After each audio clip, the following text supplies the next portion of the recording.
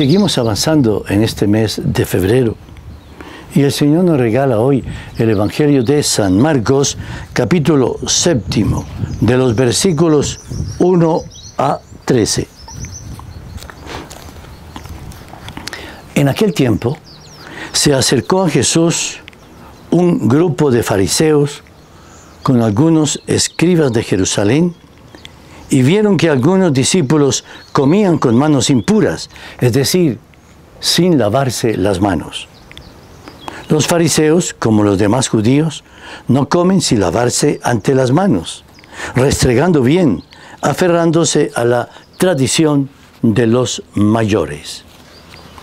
Según eso, los fariseos y los escribas preguntaron a Jesús, ¿por qué comen tus discípulos con manos impuras y no siguen la tradición de los mayores?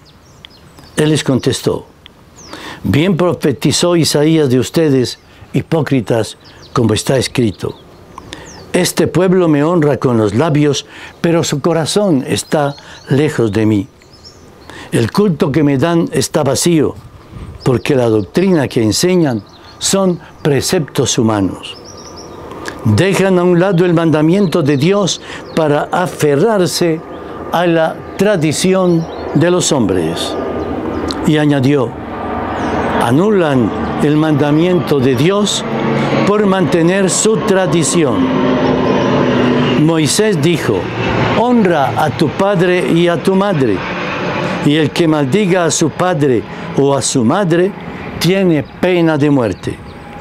En cambio, ustedes dicen, si uno le dice a su padre o a su madre, los bienes con que podría ayudarte los ofrezco al templo, ya no le permiten hacer nada por su padre o por su madre, invalidando la palabra de Dios con esa tradición que les transmiten.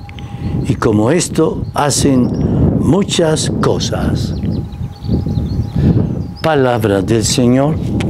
Gloria a ti, Señor Jesús.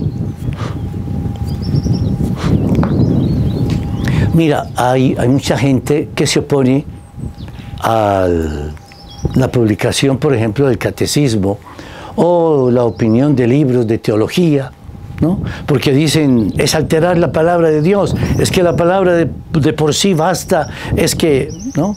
Y entonces denigran y dicen que esos son libros que realmente no son válidos, que son libros que debe hacerse a un lado. Pero resulta que Jesús viene a decirnos algo que viene a apoyar aquello.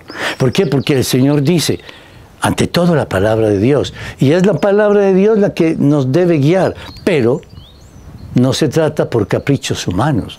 Por eso dice, hay unos que arreglan los mandamientos, honra a tu padre y a tu madre. Y dice él, pero resulta que, pues, si uno le dice a sus padres algo, una palabra, o les quita unos dientes, vale, pues si es por otra causa, eso no es tan grave.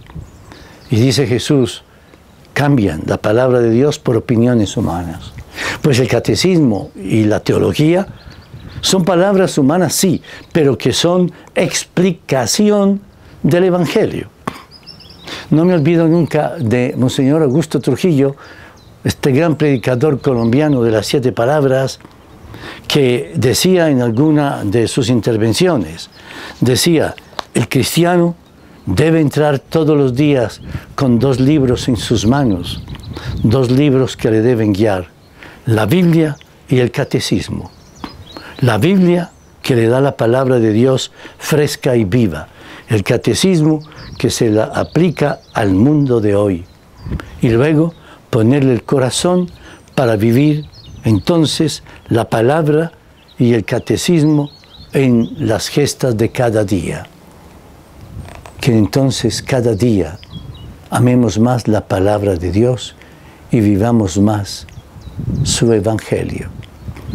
Nos bendiga el Señor en el nombre del Padre, del Hijo y del Espíritu Santo. Amén.